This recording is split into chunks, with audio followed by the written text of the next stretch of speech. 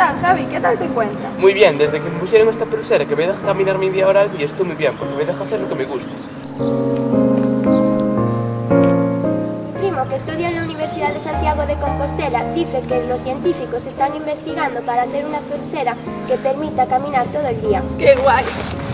A ver, si entre todos los del col y los vecinos conseguimos que te la puedas comprar. ¿Podemos hacer un mercadillo solidario? Claro que sí. Esta vez irá destinado para una causa como la tuya. Qué suerte tengo. Espero Bueno, que tengáis mucha suerte, chicos. bueno, Hasta luego. chao. chao. Gracias. Esperamos que las universidades, los gobiernos y los científicos inviertan más en causas como esta, para que todos puedan caminar y tener un futuro como él.